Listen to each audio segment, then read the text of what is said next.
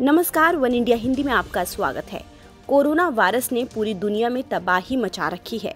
दुनिया का शायद ही कोई देश ऐसा होगा जहाँ कोरोना के मामले ना पहुँचे हों। पिछले साल कोरोना की शुरुआत के बाद से ये पता लगाया जा रहा है कि आखिर इस वायरस की उत्पत्ति कहाँ से हुई। कई बार ये दावा भी किया गया कि चीन ने इस वायरस को वुहान की लैब में तैयार किया है। अब इस बीच वुहान लैब में जानवरों के जीन बदलने का मामला सामने आया है।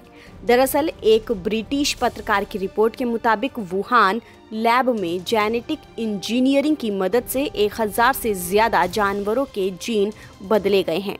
इन जानवरों में चूहे, चमगादड़, खरगोश और बंदर शामिल हैं।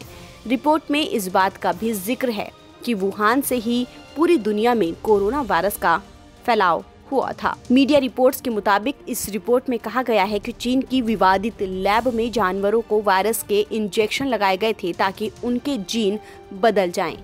वैज्ञानिकों ने आशंका जताई है कि इंजेक्शन में इस्तेमाल की गई सामग्री की वजह से कोरोना वायरस पैदा हुआ। बताया जाता है कि चीन अपने लैब में ऐसे प्रयोग भी करा रहा है जो दूसरे देशों में प्रतिबंधित है। यहाँ तक कि वो इंसानों पर भी प्रयोग कर रहे हैं। जबकि कई देशों में ऐसे प्रयोग अनैतिक माने जाते हैं। ब्रिटिश पत्रकार जस्पर बेकर ने चीनी मीडिया में प्रकाशित कई लेखों के हवाले से ये रिपोर्ट दी है कि वुहान लैब में 1000 से ज़्यादा जानवरों के जीन बदल दिए गए हैं।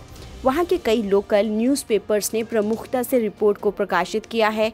कुछ चीनी विशेषज्ञों का कहना है कि वुहान की वायरोलॉजिस्ट शी झैंगली ने दूरस्थ गुफाओं का दौरा किया था। वो यहाँ चमगादड़ों का शोध कर रही थी। चीन में झेंगली बैट वुमेन नाम से जानी जाती हैं। मुमकिन है कि झेंगली ने ही लैब में कोरोना वायरस बनाया हो। झेंगली ने कई चूहों का वायरस का इंजेक्शन लगाया था। झेंगली ने कई चूहों को वायरस का इंजेक्शन लगाया था। फ़िलहाल इस खबर में इतना ही। देश और दुनिया की तमाम खबरों के लिए आप बने रहिए वन इंडिया, हिंदी के साथ।